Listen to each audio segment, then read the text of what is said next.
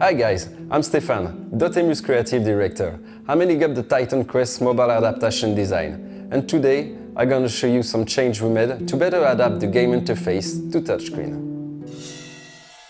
Okay, so right now, I'm in Apollo's temple at Delphi. As you can see, the interface has been totally reworked. The move and action buttons are now touch-friendly with a pad, and there are different dynamic and static action buttons. My hero is a level 16 druid with Storm and Terminator Mastery. I can see via the top left button that he just leveled up, so this is a good time to see how we assign points and skills. Here is the inventory, where all my hero's characteristics are shown. As every good gamer knows, after a level up, the first things to do is assign points so that your character is upgraded and better than before. Since my character is a druid, I will increase its intelligence and dexterity. Notice that you can zoom in and out in every menu, making navigation a snap on smaller screens.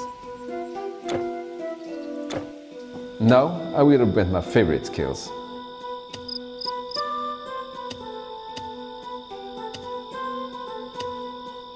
Cool. My skills are updated and I will assign them to my in-game shortcuts.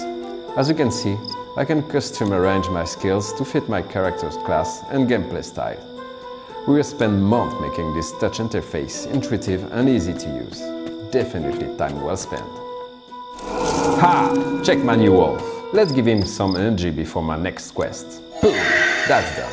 Now let's find the merchant and gear up so I can ready myself for epic battles. The buying and selling system is hugely important in any hack slash. We design our system to be fast and intuitive with a simple drag and drop approach. Easy as pie. Nice! I have everything I need. Now, I will equip my druid with some new gears and rearrange my inventory. One of the many cool things about Titan Quest is that I can have two different weapon sets according to my fighting style. Great! I'm fully equipped and I can change weapon set anytime I want thanks to the switch button. Am I ready to open up a can of whoopas? You better believe it. Time to summon a portal and go on my next adventure. See you in the next episode, and thanks for watching.